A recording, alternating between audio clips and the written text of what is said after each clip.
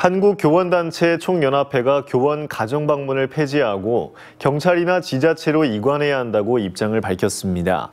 교총은 결석학생 가정을 방문한 교사를 스토커로 허위 신고하고 아동학대로 고소한 학부모에 대해 강원도교육청의 대응을 환영한다면서 교원 가정 방문이 학생을 보호하는 실질적 효과가 없다고 주장했습니다.